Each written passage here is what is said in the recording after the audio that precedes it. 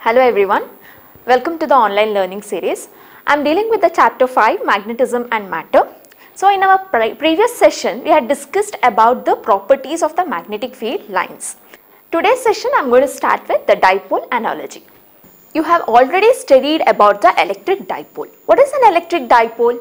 If you have a positive charge and a negative charge separated by a small distance 2L then this forms a electric dipole and this electric dipole do have a dipole moment the electric dipole moment which is denoted by the letter P. Now if I draw an axial line on this electric dipole and mark a point P somewhere here then what will be the electric field on this axial field and that electric field is given by A axial is equal to 1 by 4 pi epsilon naught 2p by r cube.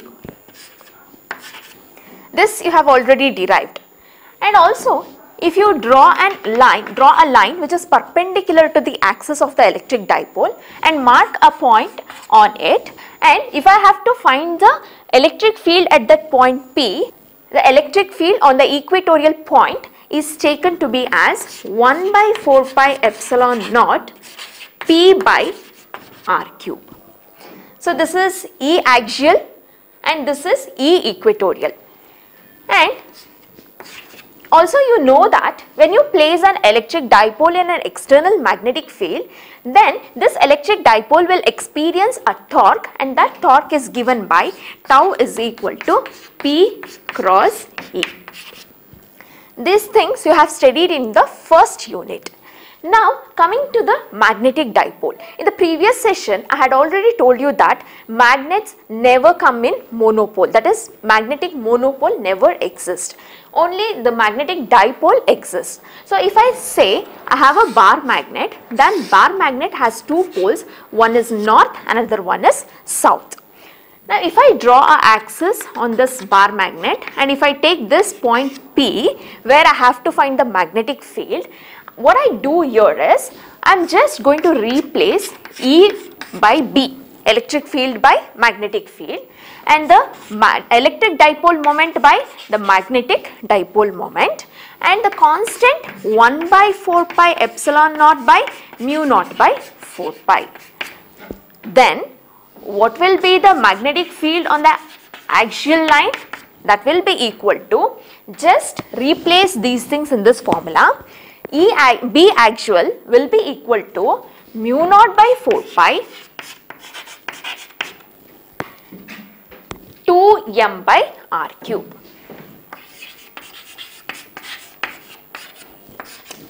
And what about E B equatorial? It is equal to mu naught by 4 pi m by r cube.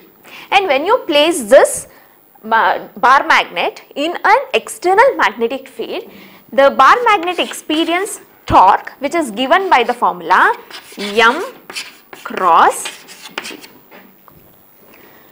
So, comparing the formulas of electric dipole and magnetic dipole, I can say that the electric dipole and magnetic dipole are very much similar to each other. Now, let us discuss the topic bar magnet as an equivalent solenoid. So you know what is solenoid from your previous chapter. Solenoid is an long insulated wire, a conducting wire which is wound in the form of an helix. So whenever current I passes through the solenoid then uh, magnetic field lines are going to pass through this solenoid. You have already studied what is the magnetic field inside the solenoid. So, the magnetic field inside the solenoid is given by B is equal to mu naught N I where mu naught is the absolute permeability, N is the number of turns per unit length and I is the current in the solenoid. Now, if I come to the outside of the solenoid, the magnetic field will be 0. It is said that the magnetic field is stronger inside the solenoid and the, as, as we come outside the solenoid, the magnetic field becomes equal to 0. And here we are discussing that a bar magnet is equivalent to a solenoid. We are going to compare a solenoid with a bar magnet. Bar magnet does have two poles, north pole and south pole and even the solenoid is having two poles. One end will be considered as north pole and the other end will be considered as south pole depending on the direction of the current. So, this is just similar to a bar magnet and if you take a bar magnet and break it into two pieces then you are going to get two bar magnets of weaker magnetic property. Similarly, if you take a solenoid and cut it into two parts then you are going to get two solenoids of weaker magnetic properties. So, let me see how to show that a bar magnet is equivalent to a solenoid. Now let us consider a solenoid of length 2L. So this is a solenoid which is having total length 2L.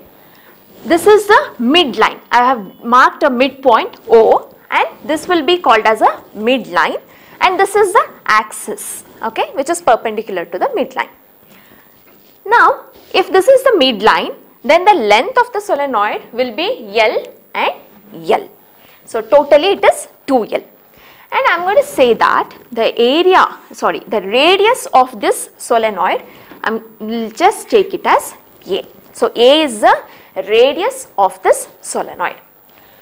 Now, to find the magnetic field on the axial line, so this is the axis I have drawn and let me mark a point P where I have to find the magnetic field. So, on the axis of the solenoid a point P has been marked and this at this point P I am going to find the magnetic field due to the solenoid.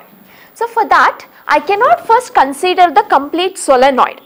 So, I am going to first take a small element. So, let me mark a small element here. This is a small element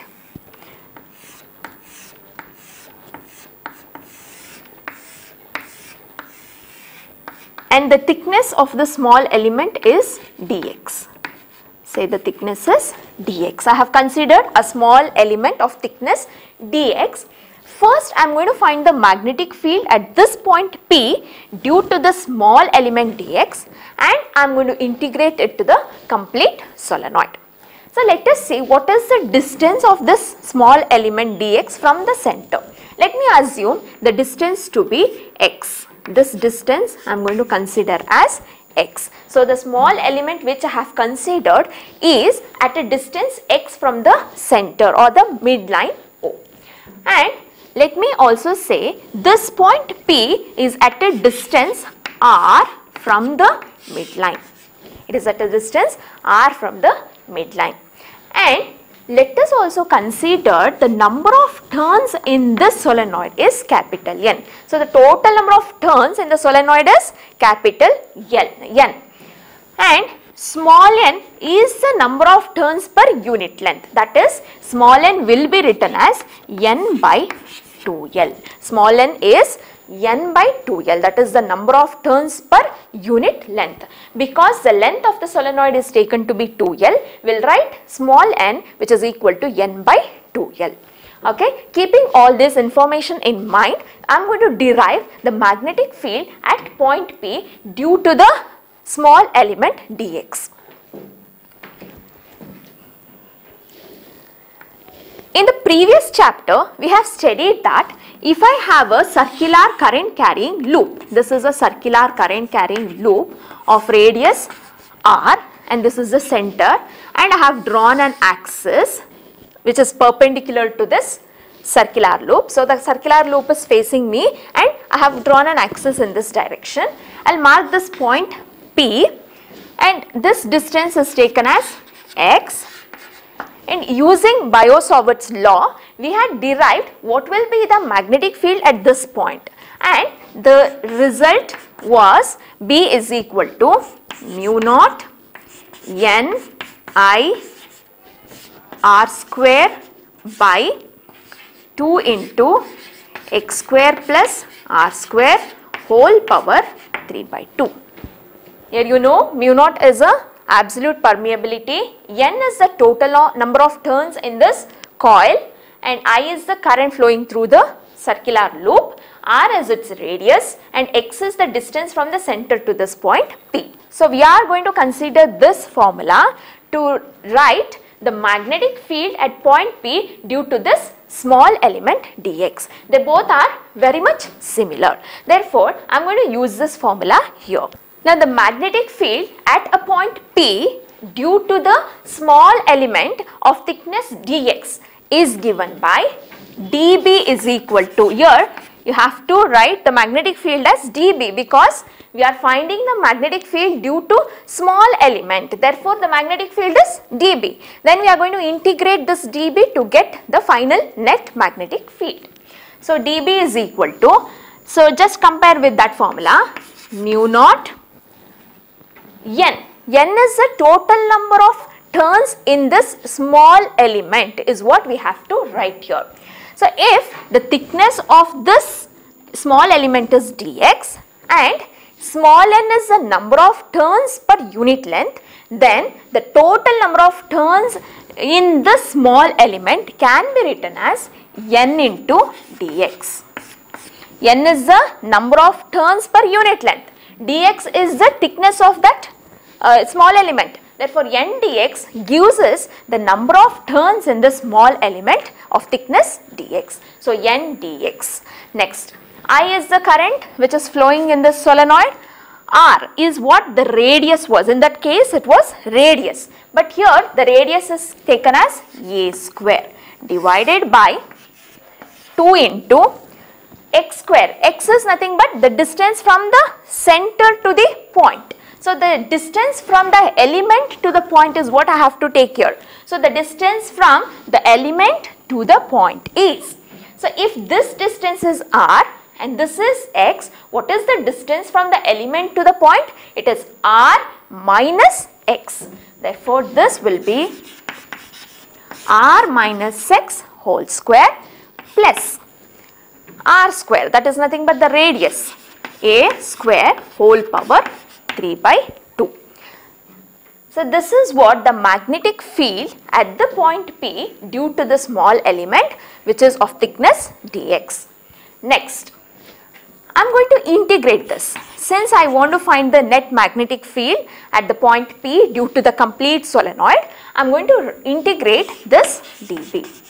So, what happens if I integrate dB? This mu naught is a constant n, i, a square are all brought outside the integral symbol divided by 2 then integral what are the things which are left dx by r minus x whole square plus a square whole power 3 by 2.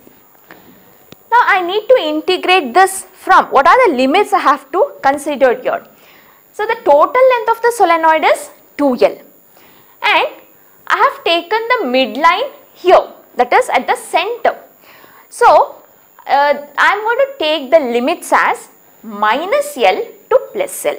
Say if this line was taken at this side at the corner of this solenoid then I had to take the limits as 0 to 2L. Since the length of the solenoid is 2L, I would have taken it as 0 to 2L. But I have considered this line at the midpoint. Therefore, the limits will be taken as plus L minus L.